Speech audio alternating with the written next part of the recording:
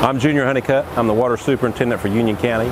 We're at the Catawba River Water Treatment Plant in Van Wyck, South Carolina. This is the home to the majority of Union County's drinking water. It's a pretty complicated system. Folks here at the plant do an awesome job.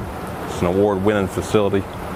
There's a lot of rules that's encompassed in the water treatment program, and uh, everybody has a part to play, uh, from the, the plant to the distribution system. Uh, and it's not a, you know, it's, it's taken very seriously.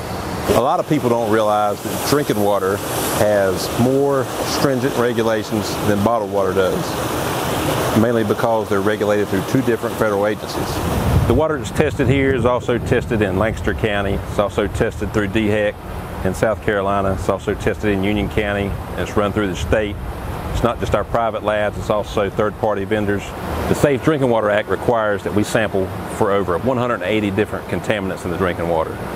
We sample over 320 samples a month. The quality of water that comes into Union County uh, meets or exceeds all the standards. I am 100% confident in the safety and the quality of the water in Union County.